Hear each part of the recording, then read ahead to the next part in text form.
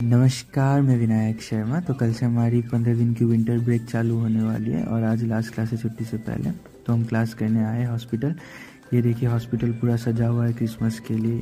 Decoration देख रहे हो आप कॉरिडोर में पूरा। हर फ्लोर ही इन्होंने बहुत अच्छे से सजाया है। फिर हम पहुँचे क्लास फिर क्लास से निकल करके हम गए बाज़ार के साइड कुछ फ्रूट्स वगैरह लेने के लिए। चलिए, आज मैं आपको दिखाता हूँ एक चोर बाज़ार। ऐसे गिप्पर के साइड जाते वक्त नीचे चलते ही देखिए ऐसा फ़ोन का पूरा बड़ा सा चोर बाज़ार है।